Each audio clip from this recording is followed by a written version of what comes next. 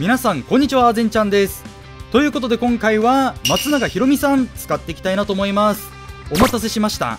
今更ながら OB 第5弾の松永さん使っていきたいなと思います。まあ、ランキングで獲得してまあ、一応ね今のところ、えー、ガチオーダーの2番手ショートで、えー、使おうかなと思っているんですけど、まあ、まだ実際にね、えー、使ったことないですし、まあ、使用感によっては、ま、もしかしたら、えガチオーダー入りならず、えそういう可能性もあるので、まあ、今回はショートで、え使っていきたいなと思います。弾道がラインドライブ、えミート走力が81の A 同値、えパワー76の B ということで、え佐々木誠さんと全く同じ、えステータスをしています。で問題は守備能力。えメインがサードで B ショートも C やって裏捨が DCB、まあ、サードで使えばね、えー、全く問題ないんですけど、えー、サードはやっぱり激戦区でなかなかちょっとね割って入るのは難しい。ただ走力 A やって守備適正 C あるショート。ここの方がね、えー、使い勝手は、えいいのかなということで、まあ、ショートで使う人が、えどっちかっていうと多いと思います。で特殊能力、え超ラインドライブアベレージヒッター回選球眼まあ、欲を言うと選球眼がね、まあ、何かしらパワーが上がる特能だったら、えー、より強かったんですけど、まあ、それはちょっと求めすぎですね、まあ、超ライドラ阿部控えの時点で、えー、十分強いと思います。そして今回オール OB オーダーでやっていきます、えー、一応今年の OB の選手で揃えています、え松永さんがショートに、え入ったおかげで、え組めましたよと。松永さんいなかったらね組めなかったんですよこのオーダー。で投手はね、え他のシリーズの選手の方が多いです。えー、今年取ったのが赤堀さん、えー、サファテ、バーネット、桑原さん、えー、ダルセルを入れると沢村さん。5人しか取ってないね。まあ基本はやっぱり OB はね、え野手の方が多くなるんで、まあ、今回はこのね OB オーダー、え使っていきたいなと思います。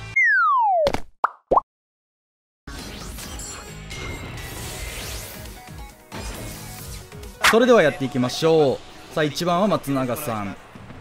さあこのこういうライドラ選球眼、まあ、パワー85までしか上がらない、まあ、85もまあ十分高いっちゃ高いけど、まあ、90はね最近の環境欲しいからね。やっぱり両打ちっていうのもめっちゃいいし。ただなんかあのこういうフォームのこれが気になるんですよね。このバットを投げる瞬間にピクってさせるのがこれ打ちやすいのかな。ここだけはちょっとね疑問視してるけどあめっちゃ強いです。はい。そしてカブレラよ。カブレラマジで打ててないからね。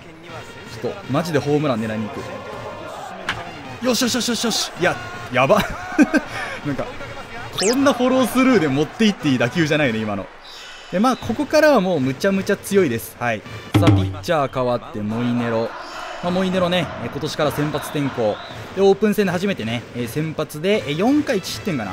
いやモイネロはね絶対にいけると思います先発。ローテ1年守れば10勝は硬いんじゃないかなと踏んでます、はい。まあ、理由としてはやっぱり球種全球種カウント取れるし勝負球にもなるし。いやー絶対いけると思うな。よし。まあまあまあここら辺はもう言うまでもないでしょう。落合さんとか、えー、田村さん高橋由伸さん藤村さん、うん、強いです。さあさあまあ、あとはあれなんですよね。あのセ・リーグ、パ・リーグ杯どっちでようか結構迷ってて。ようやくね次の、えー、セ・パ杯から、えー、セ・リーグはセ・リーグの人とあやべゲッツーだ、うん、やってるね、えー、パ・リーグはパ・リーグの人とようやくですよようやく。逆になんで今までねそれをしなかったんだと思うんですけど、まあ、となるとね、えー、まあ、パ・リーグのピッチャーとセ・リーグのピッチャーを考えた時に、まあ、どっちと当たりたくないかっていう。いやでも結いやうーんちょっとヒット打ちたかったな。さあ1、2塁間はちょっと終わってます。落合さん特殊してないね、まあ、去年ぐらいまではね、えー、先発は圧倒的にパ・リーグ中継ぎはセ・リーグっていう、えー、形だったんですけど、まあ、結構ねやっぱセ・リーグバウアーとか出てきて先発も強くなってきて中継ぎがやっぱり強いよね。ビエイラ藤川さんウィリアムス。ここ最近もうトレンドというか。まあビエイラは一生強いし藤川さんもやっぱり再評価というか、えー、されてますしいやーどっちかなっていういやまだ迷ってますね。野手はうんセ・リーグの方が組みやすいとは思うんですけど、まあ、松永さんも手に入ったしいや迷うね。一応パ・リーグで出ようかなとは思っているんですけどちょっともう一回オーダーとかしっかり確認してね。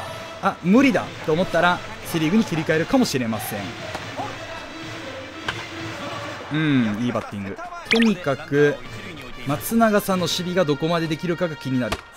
自分が石毛さん持ってたらねスピ返して石毛さん使ってると思うんですけど持ってないんで。来年来てくれるかな。ちょっと絶対次は石毛さん取りに行こうかなと思っているんで。ボール入っちゃった。いや落ちるよね。うーん今の甘く入ったがやっぱ赤堀さんきついな。ちょっとねせっかくなんで、まあ、赤堀さんと沢村さんを今回2試合でね先発させようかなっていう感じなんですけどボールよボール。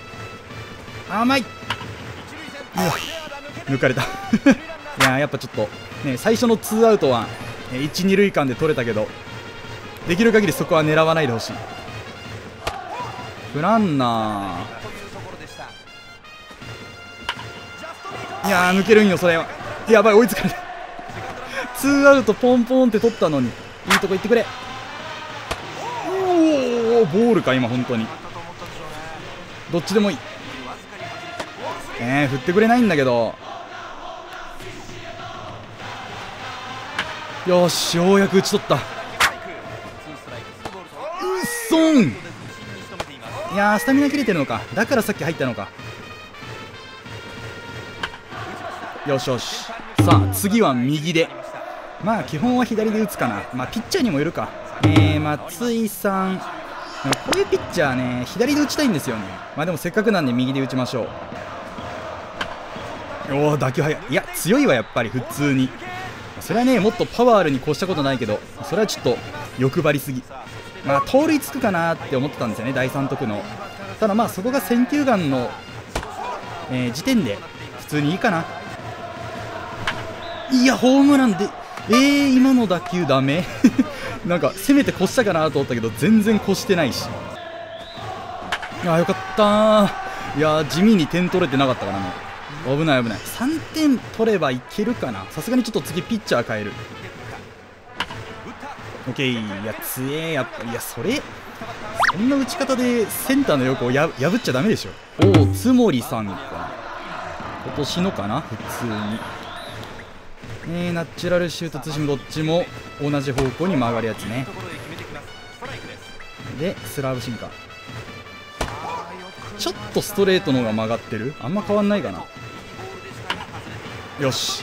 いやでもやっぱ同じ方向に曲がるのはねあんま強くないよね。結局ウィリアムスも逆にあんだけの変化で曲がるから強いけど。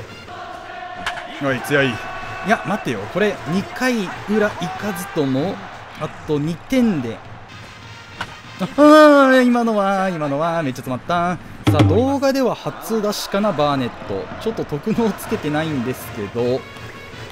まあまあまあ強いよね。めっちゃ強くはないけど。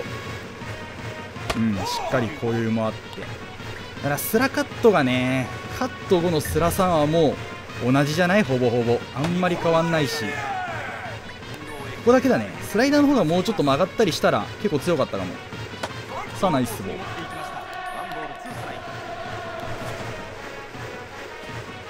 うんナイスボいいね。いいね。シンカーもあるよっていう。まあまあ本当にまあまあやれる。よーし OK いい系統それでは2試合目。え先ほどよりきついと思います。沢村さん。